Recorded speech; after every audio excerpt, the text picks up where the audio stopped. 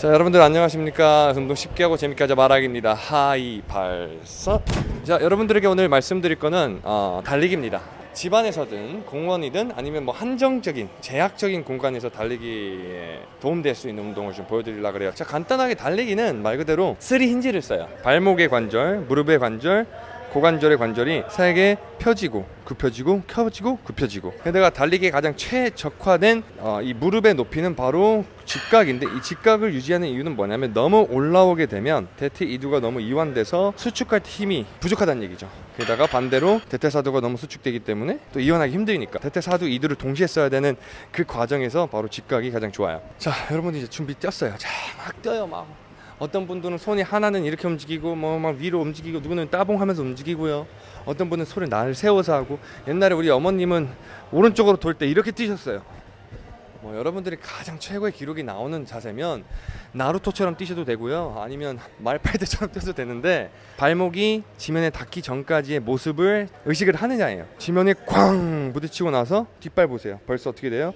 발목이 힌지가 피죠. 발목이 피고 다시 올라와요. 말 그대로 여기 잘 보세요. 지면에 닿은 이 발목이 지면을 밀고 나오면서 올라가는데 대개 여러분들이 놓치시는 게 바로 이 발목이 계속 느슨해져요. 발목을 걷어 찼을 때 빠르게 무릎과 연결된 종아리 근을 같이 움직일 수 있도록 발, 발바닥을 위로 올려주셔야 돼요. 초보자분들은 이렇게 올리고요. 그렇죠? 느슨해지죠? 네. 실질적으로 달리기에 도움되는 발, 발목 포지션은 쿵, 쿵. 여러분들이 최고 높이, 즉 직각 높이를 유지했을 때, 수평 높이를 유지했을 때 허벅지와 발바닥은 평행이 돼 있어야 돼요. 그래야 나중에 꽝, 꽝 이 반발력, 발바닥이 지면을 꽝 차줘야 되는 기본 기초 자세가 바로 발바닥이 수, 평이 돼 있어야 된다는 얘기죠. 달리기라는 게 되게 이제 까치발 뜨고 뛰시는 분들이 굉장히 많아요. 앞발부터. 근데 그런 자세를 제가 꼬집는 게 아니라 여러분들이 잘못 생각하는 게 뭐냐면 무게 중심이 너무 앞에 가 있으면 어떻게 돼요? 대퇴사두밖에 안 써요. 당기는 힘이 부족해요. 왜냐 무게가 앞으로 쏠려져 있기 때문에.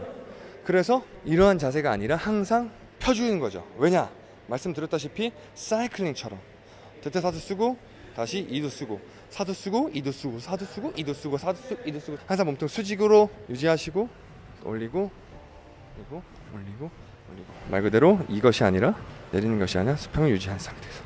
아, 집에서 할 수 있는 운동은 하인인데요. 옆에서 보면 바닥을 끝없이 올려주세요. 이렇게 내리게 되면 너무 많은 무게를 발목에 쓰기 때문에 발목이 아프신 분이 있어요. 그래서 지금 꽉꽉꽉꽉꽉꽉. 두 번째 이거를 응용한 것은